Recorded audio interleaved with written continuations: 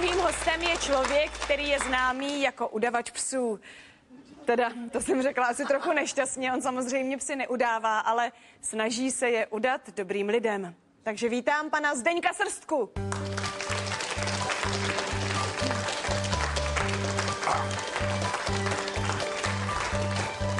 Dobrý den. Dobrý večer, pane Srstko, dobrý večer. Prosím, posaďte se.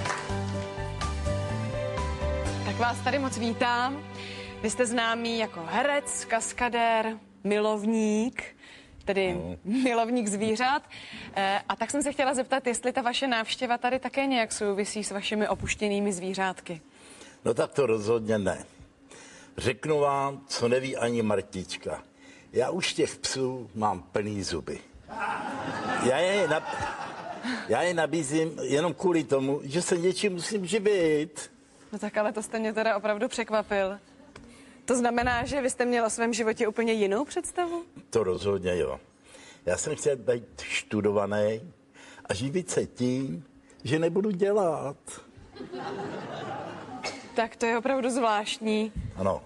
Ale pojďme se vrátit eh, k tomu, proč jste tady. Koho jste si vlastně pozval do pošty pro tebe? Já bych si pozval svého spolužáka. Aha, vy jste se spolu dlouho neviděli.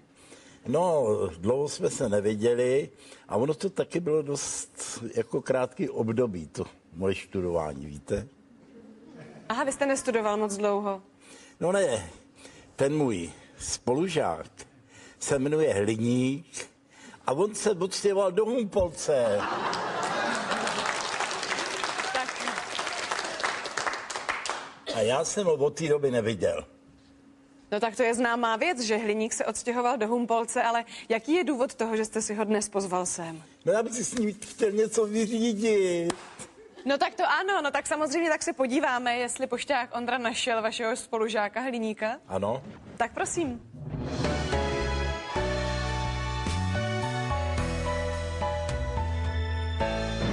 Ester, zdravím tě z Humpolce, kde by se měl zde ve sběrných surovinách podle mých posledních dostupných informací zdržovat pan Hliník. Takže se pojďme podívat, zdali tomu tak opravdu je, či nikoli tímto směrem. Ovšem, obávám se, že v této hromadě šrotu se mi pan Hliník bude hledat velmi těžko. No ale každopádně, Esterko, slibuji ti, že já to dokážu.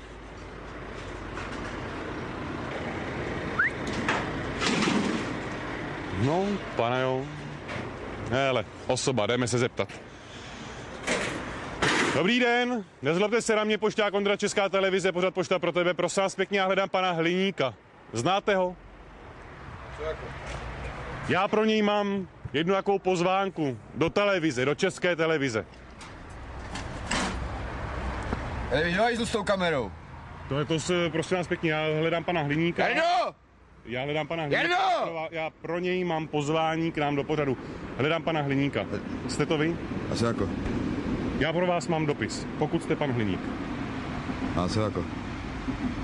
No, my vás chceme pozvat do pořadu. Do pořadu Pošta pro tebe. Pro mě? Jste pan Hliník? No? Jste. Výborně, takže ta pozvánka patří opravdu vám.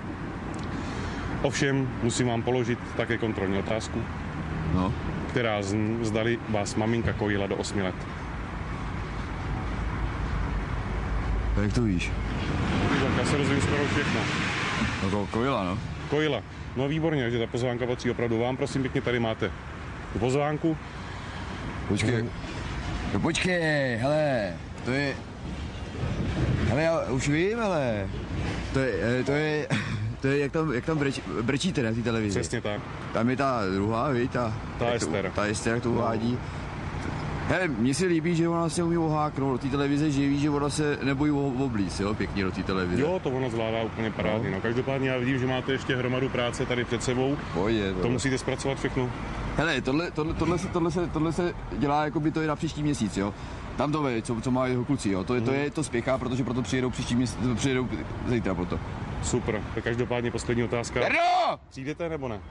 Z, z televize! A vy do televize přijdete? No, tak... Takhle, jde o, jde o to, kdy to bude, jo, protože Hmm. e, není problém se tady domluvit s Jardou, přes den mě pustí kdykoliv. Jo, protože Jarda pro mě udělá první, poslední, ale eh, v noci to nepůjde, protože takhle v noci tady je fofr, jo, tady jsou jsem vozej víka od kanálu, víš, měrný dráty, jako Super, takže... čorka, jo. Čorka, paráda. Takže když to bude přes den, tak byste přišel. Hele, jako já nic neslibuju, ale jakoby, z- jako z Jarda myslím, že mě pustí jako přes den. Paráda. Já se budu těšit, děkuji mnohokrát, mějte se krásně. Nebudu vás zdržovat, Esterko, tebe také nebudu zdržovat. Za chvilinku se uvidíme ve studiu a zjistíme, zda pan Hliník opravdu přijde, a nebo ne. Zatím ahoj. Jardo! Pojď sem!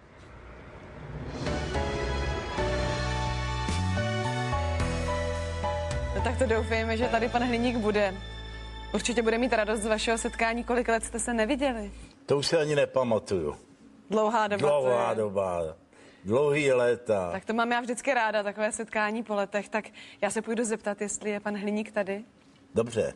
Tak vydržte.